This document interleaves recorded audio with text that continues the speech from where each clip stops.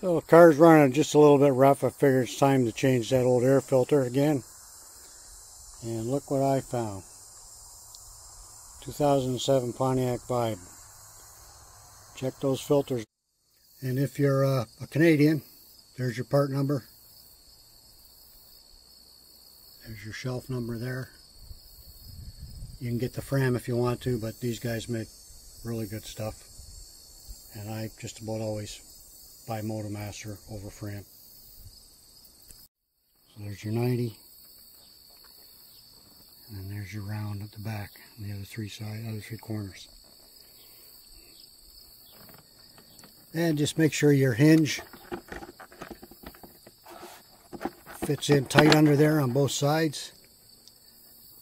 And you see that there? Doesn't go on the top. Don't try and force it. Just slide it underneath. That's how it fits. And then uh, put your clips back on.